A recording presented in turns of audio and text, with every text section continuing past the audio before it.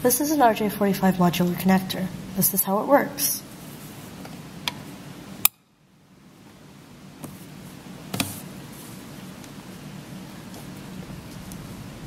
This is an RJ45 connector with a broken latch. It doesn't work.